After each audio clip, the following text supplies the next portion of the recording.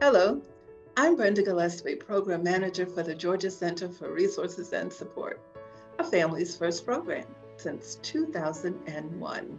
My program is all in, as in 2019 2020, we helped 11,445 individuals continue to parent their adoptive child with love and understanding.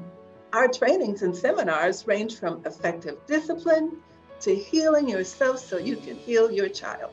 Going all in last year, 280 adoptive parents and their children attended our November National Adoption Month celebration event. Hi, I'm Deborah Suzette Brown, Resource Advisor for the Georgia Center for Resources and Support. As an adoptive mother of 10 and a grandmother raising a grandchild, I understand the protective factor.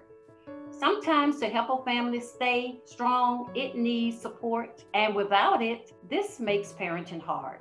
I've helped families navigate the hard times when their child is struggling in school or their child has gotten out of control and they want to give up.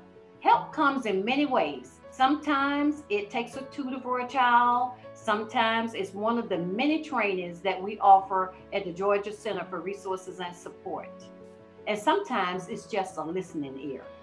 Today, we would like you to know at the Georgia Center for Resources and Support, we are all in. Hi, my name is Amy Parmer with the Georgia Center for Resources and Support. I'm all in because it is my passion to help adoptive families on their journey. As a mom of two, one with special needs, I think we can all admit that we need help sometimes. As they say, it takes a village. Our goal is to keep adoptive families strong. And as a resource advisor, you get to speak to a real-time person about the needs of your family.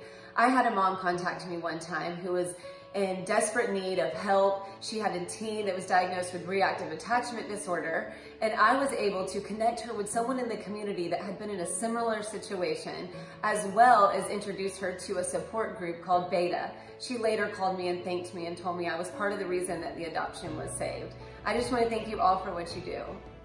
I go all in with our resource advisors as we believe in honoring adoptive parents and their children while strengthening families and changing lives.